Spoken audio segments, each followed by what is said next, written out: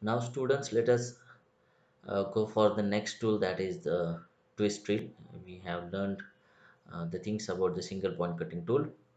So we can have now the twist drill.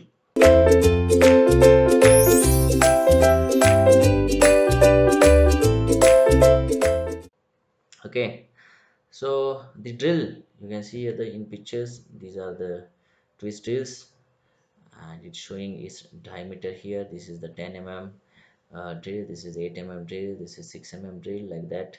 These are the uh, diameters of the drills and these are the twist drills okay?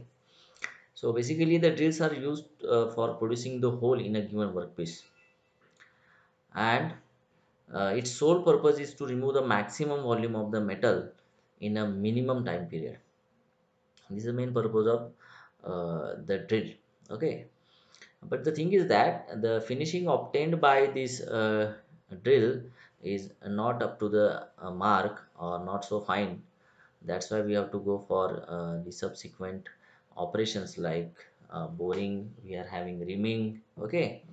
So for sizing of the drilling is done, done by the uh, subsequent operations like boring reaming etc so the, the uh, these twist drills are basically are usually made by the high speed steels.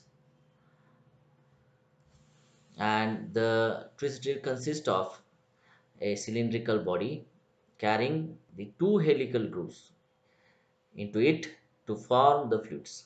Okay so basically drills carry these uh, two helical uh, grooves to form a flute. And the flute uh, run the full length of the body of the twist drill and perform the following functions. What are the functions that can be uh, done by the flutes? You can see. So the first thing is that uh, they the flutes they provide the rake angle. Then they form the cutting edges. They provide a passage for the coolant. Also they provide the passage for the removed chips or it facilitates the swarf removal you can see here this drill a twist drill. The various uh, parts are shown here. So this is the body of the drill. This is the shank. Okay and the, you can see here these helical grooves and this is a flute. This is the lip of the drill. This is the dead center. Okay we can see it now. So see here the body. So this is the body of the drill. So it is a part of the drill that fluted and relieved. See the body the part is fluted one yes and we can see here the flutes. Then the shank definitely this part is going to held in the holding device. This is a shank. Then we are having the dead center. This is here this dead center the tip extreme tip okay? So dead center or chisel edge of the drill is the sharp edge at the extreme tip end of the this is the dead center. Then lip is what? You can see here these are the lips okay these are the lips so lip or cutting edge is formed by the intersection of the flank. These are the flanks which are meeting or at the intersection of these uh, flanks. We can have this uh, lip or cutting edge. Okay then the flank. The flank is a surface on a drill point which extends behind the lip of the falling so the chisel edge corner the corner formed by the intersection of the lip and the chisel edge is also called as the chisel edge corner.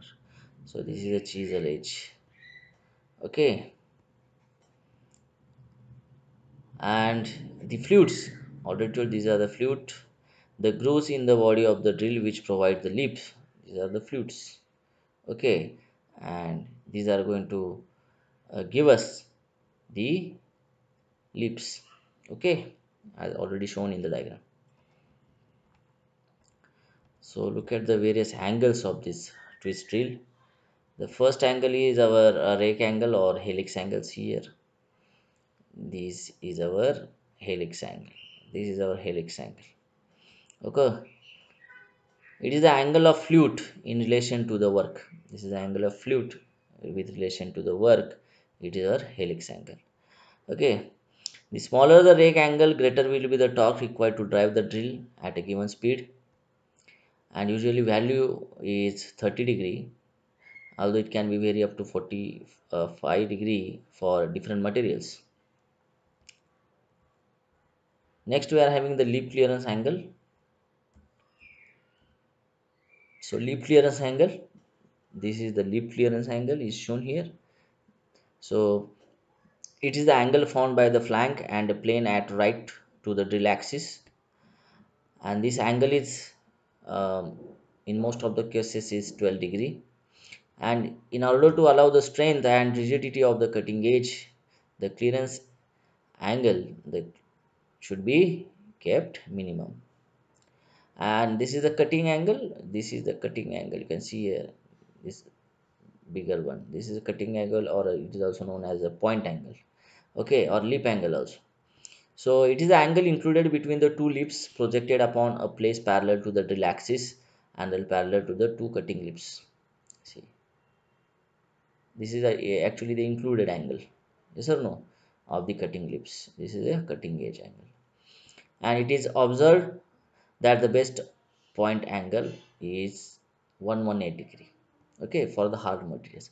For the soft materials like uh, aluminum copper we can have the values around 45 to 60 degree also we can use for the drilling of these soft materials. Okay then the chisel edge angle. So you can see here this is the chisel edge angle. So it is angle included between the chisel edge and the lip as seen from the end of the drill. See that's why you have to look at this end of the drill here. From bottom you can see this is the end like this is the clearance sorry this is the chisel edge angle. Now what are the drill specifications? You see the drills are made in the three types uh, type n type h and type s. So type n for normal low carbon steels type h for hard materials and type s for the soft and tough materials. The drill sizes uh, in metric system the drills are made in the diameter from 0.2 millimeter to 100 millimeter. In the beginning i show you a few examples of drill uh, where the drill diameter was embossed on the tool. Now we will see about this cutting speed feed and depth of cut for this drilling operation. So what is cutting speed for drilling? It is the peripheral speed of the joint on the surface of the drill in contact with the workpiece. Okay. So this is the cutting speed and it is usually expressed in terms of meter per minute.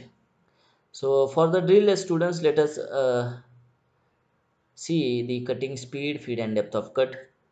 So cutting speed is nothing but the peripheral speed uh, on the drill surface in contact with the workpiece and which is usually expressed in terms of the meter per minute now let us assume that if the d is the diameter of the drill in millimeter and it is rotating with rpm n, then the cutting speed v in meter per minute can be given as v is equal to pi d n by 1000. It is 1000 not 100.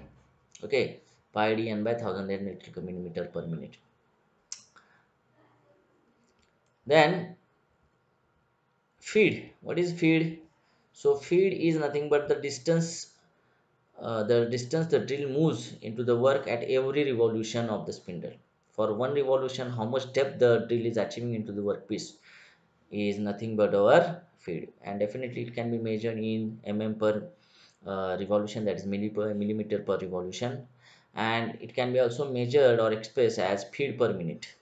Okay? So this is the feed for the drill